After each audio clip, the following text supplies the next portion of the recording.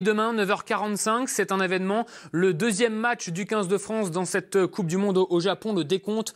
On est à 13h, 14, 13h de ce deuxième match donc de Coupe du Monde face, on vous le rappelle, aux États-Unis. L'équipe de France qui a remporté son premier match face à l'Argentine. Aujourd'hui, traditionnel entraînement du capitaine. L'occasion de vous rappeler que Louis Picamol sera le capitaine des Bleus demain.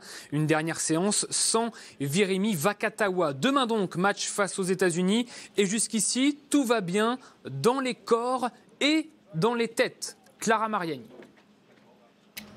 La victoire contre l'Argentine en ouverture de leur Coupe du Monde leur ont apporté soulagement et confiance. Les dix jours qui viennent de s'écouler leur ont donné du temps de parfaire leur mental.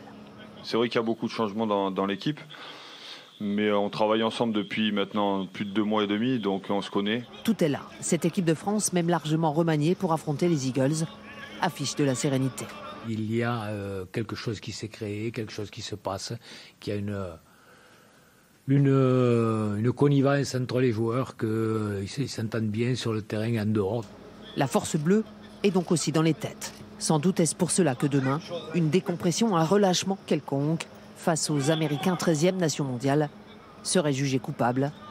Les Bleus semblent l'avoir compris. J'espère quand même, quand on voit d'où on vient, qu'individuellement, quand même, on puisse pas être relâché dans nos têtes. J'espère que l'équipe a, pris conscience qu'il n'y avait pas de, petite équipe. On a un lourd passé avec euh, des décompressions, notamment euh, il y a un peu moins d'un an face aux Fidji.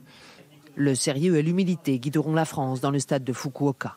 Les États-Unis ne sont qu'une étape de la construction de ce 15 sur la route qui doit les conduire face au Tonga, puis à l'Angleterre.